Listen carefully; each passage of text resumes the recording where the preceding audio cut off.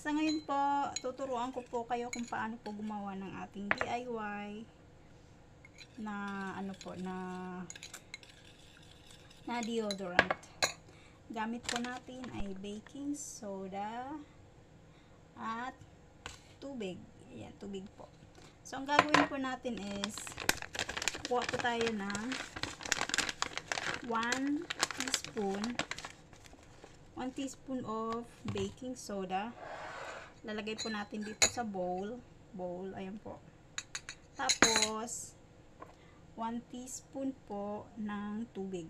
Ayan, lalagay po natin. mix po natin dun sa bowl na pinaglagyan ng baking soda. Ayan. Tapos, mix, mix, mix, mix, mix po. Ayan, mix. Mix po. Hanggang sa maging paste po siya.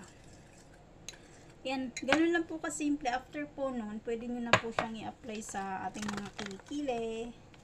Para, sorry po nakapambahay. nakapantulog. sa ating mga kilikili po, i-apply po natin. Or dun sa mga dark areas po natin. Like dito, yung mga batok, mga singit, ganun.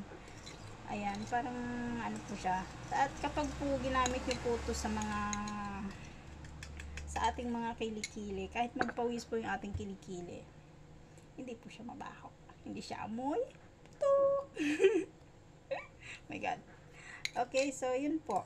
Ganun lang po kasimple. I-try nyo po. Pwede nyo rin pong lagyan siya ng lemon instead na tubig.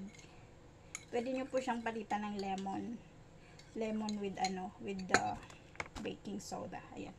Kung wala pong lemon, pwede rin pong, okay, mas okay po yung tubig. Kasi, hindi po mag-iba yung kulay. So, ganun po.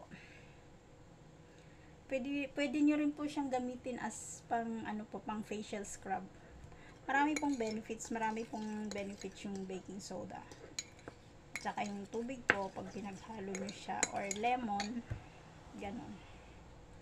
So, thank you po. Pasensya na po yung first, uh, this is my first video tutorial. Baguhan lang po. Sana po sa mga hindi pa po nakapag-subscribe sa akin, subscribe po kayo.